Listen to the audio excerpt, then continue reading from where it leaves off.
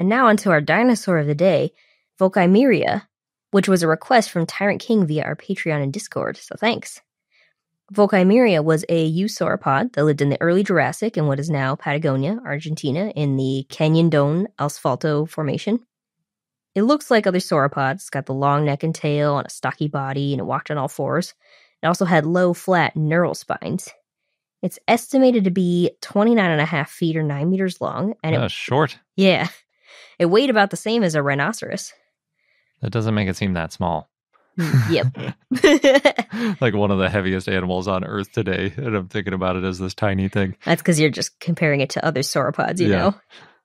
It was herbivorous, too. Not surprising. It's a sauropod. The type and only species is Volkheimeria chubutensis. It was described in 1979 by Jose Bonaparte, and the genus name means of Volkheimer. It's named after Wolfgang Volkheimer, a geologist and paleontologist. I'm guessing it's Chubutensis because it's from Chubut in Argentina. Probably. And the fossils found include a mostly complete pelvis and sacrum, caudal vertebrae, femur, and tibia. So we're talking pretty much the hips, leg, part of the leg below the hips, and a little bit of the tail connected to the hip. Yeah. Volkheimeria was found close to Piatnitzkysaurus and Patagosaurus, and the ilium, the part of the hip of Volkheimeria, was much shorter than that of Patagosaurus. In 2017, a study by Ignacio Alejandro Cerda and others looked at the growth rates in sauropods and, based on histology, found Volkheimeria had rapid, sustained growth rates. Hmm. There were these closely spaced growth marks. Makes sense, it goes with its relatively small size. It grew fast and then it was done. Hmm, gotcha.